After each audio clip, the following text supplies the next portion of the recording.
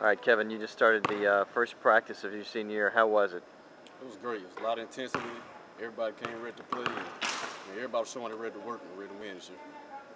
Can you believe that this is your uh, that your last year? You're finally a senior. It doesn't really seem like it's uh, it seems like it's gone by quickly. Yeah. It went by very quickly. I mean, a lot of people say that now that they're surprised how quick it is I'm a senior. But I like I just embrace this year so I can try to get postseason play for the first time in my career. So I'm excited. Kevin, a point guard is always the leader of the team. This year, you're uh, not just a leader, but uh, you're a senior leader. Talk about those added responsibilities.